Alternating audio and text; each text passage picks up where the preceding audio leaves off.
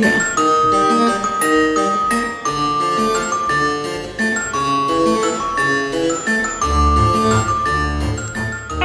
Hello, it's Sean and Julia, and we are today trying on costumes. Yay! Yes.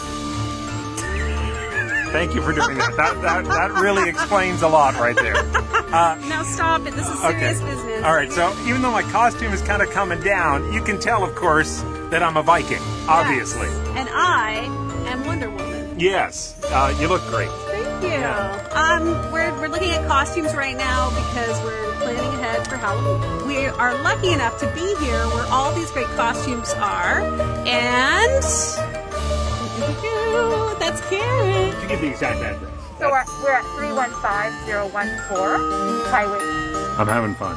There's a lot of there's a lot of great costumes to choose from, uh, tons of them, and great prices too. And you know how sometimes when you go and get a costume and they're kind of Plastic? They're, they're kind of plastic, you know, the kind you used to have when you were in school, and they would be the cheap mask and put- had yeah. the staple on the side. Staple with the elastic band. These are actually really good costumes. They really are. I'll admit I don't. Ha- I've never worn a chicken. Co- Stop looking at my legs. Don't look at my chicken. I legs. haven't gone down to your chicken legs yet. but- Okay. Uh, but no, it's great, great selection, and, and as I say, uh, great quality. So, Yeah. and and nobody makes a better ape than you.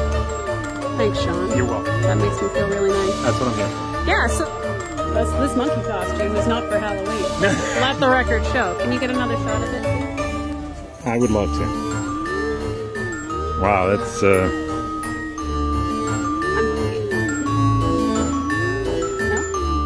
yeah, you're doing something.